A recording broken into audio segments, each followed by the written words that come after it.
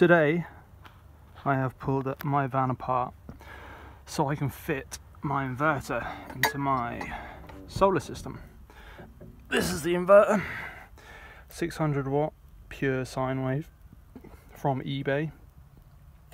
So far so good, been able to power power tools, uh, soldering iron, all sorts of uh, high power stuff. Here is my charge controller. This is a PWM. I know they're not as good as MPPT, but it was cheap and it was a good make. And I wanted to get this first because I might end up getting one of those um, dual battery boxes uh, in the future that are really expensive that you connect to your battery and your solar system so you can charge when you're driving and when you've got sun. So um, basically I've pulled everything out today to fit my inverter into my system. And uh, that required me to take out all these horrendous cupboards and stuff. So I'll just uh, show you the solar panel. On top of the van I have one huge 300 watt solar panel. Uh, it's getting a bit of sun today drawing in about 6 amps which is great. Um, and then around the back here as you can see I've been working currently working in a campsite.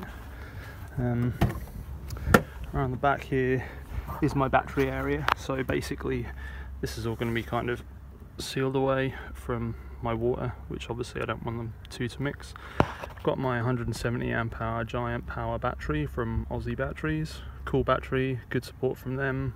Uh, fast delivery and, and, it was about $300 um, and then here we've got my 12 volt uh, fuse box. Uh, goes to a common ground on there so I can ground anything around the van that I need to. Um, big 30 amp fuse before um, the well it comes I think it's between it's between the solar charger and the battery basically.